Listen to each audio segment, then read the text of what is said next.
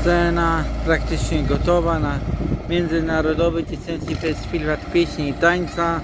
Czerwiec 2023 prawie gotowa. Niestety nie odbyła się w amfiteatrze z powodów technicznych. Amfiteatr jest do remontu. Miejmy nadzieję, że impreza kiedyś tam wróci.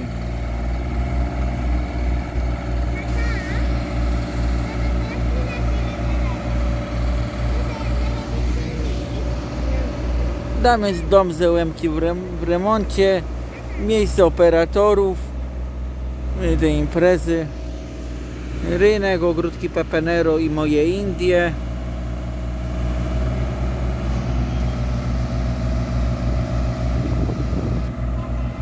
Potrzeba tu nie, nieźle sprzętu, czasu, pieniędzy, żeby taką cen, scenę postawić. Dwa, dwa monitory, monitory główne, monitory takie boczne, zadaszenie.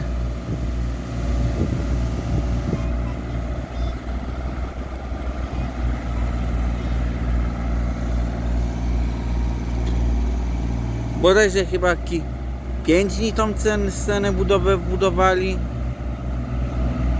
Jakoś tak.